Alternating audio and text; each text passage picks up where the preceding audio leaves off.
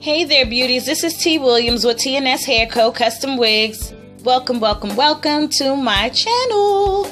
Good morning, good afternoon, good night, wherever you live. Thank you, thank you, thank you so much for stopping through. Again, this is T. Williams bringing you another one of my crochet babies. This is made with Cuban double strand twist hair. Yes, the color is 1B. As you can see, she's very full. She's a short style. This is considered one of my short crochet units. If you go onto my website, which is under www.tshairco.com. And I'm going to bring her up close so you can see her Yes, yes, yes, yes, yes. Very natural looking, very full. As you can see, she is definitely very curly. I'm going to turn her around to all angles so that you can see her. Um, with this particular one, it is a requested style, and I thank you so, so much to the young lady who requested her. I am shipping her out to the West Coast today. Yay! So, again, thank you all so much for the love and support that I have received. I, I, can't tell you enough how much I appreciate it. I know you guys hear me say that all the time, but trust and believe I really do appreciate it.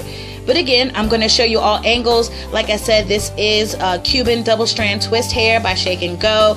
This hair, as I've said before, is different from the Marley hair. So when you're requesting a style for me to make, just let me know if you want to use Marley or Cuban the difference with the Cuban double strand twist hair or even the Cuban braidable weaving hair.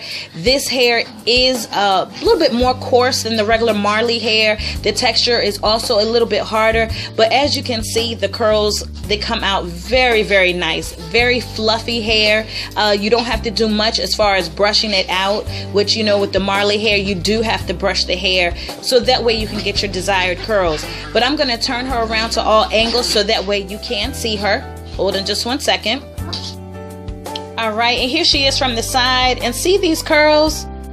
Very, very curly, very, very full, like a curly afro. Yes, she is. All right, and I'm to turn her around to the back.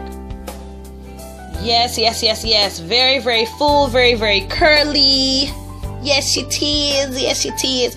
Now, I will say, with the Cuban twist hair or even with the Marley hair, this hair will eventually get very, very fluffy.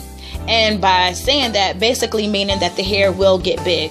The curls are going to drop some eventually. And like I said, it is going to become big, hard, don't care, which is already big, hard, but it definitely becomes a little bit bigger. But keep in mind, you can always tweak your baby to how you like her. And here she is to the side, very, very full. Nice curl pattern. Get up close so you can see and I did put some argan oil in her or on her so that way you can see some sheen. She has a very nice luster. And I do that so that way when I'm packaging her out, the, the oil actually can soak through. Smells really, really nice. Really, really nice. But anyway, so she does soak through. And also, you don't have to do much to her. You can put wig shine on her. Um, you can use your regular argan oil, whatever you desire. And here she is back to the front.